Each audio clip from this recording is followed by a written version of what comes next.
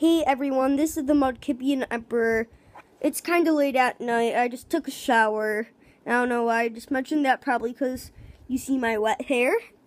But anyway, I just wanted to say I'm sorry for not uploading this weekend and on Friday. I've been really busy and I just hope that you bear with me and hope you understand that I'm busy and I just need to relax and don't have time to record right now, but I am going to upload two videos tomorrow to make up for it.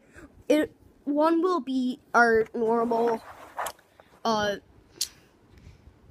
3D World episode, but the other one is going to be a secret.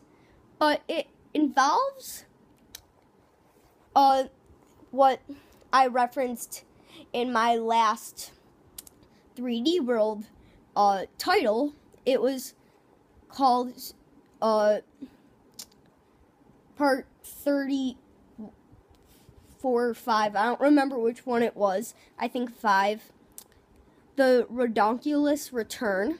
And it said, shoutouts to whoever gets that.